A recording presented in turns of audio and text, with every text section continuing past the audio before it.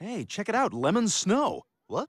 Yeah, that stuff's delicious. Lemon snow? You mean it just falls from the sky like that? You bet. One of nature's treats. You gonna have some? Nah, I'm already full. But you should have some before the other kids get to it. L What is it, like Italian ice? Yeah, exactly. Like a sorbet.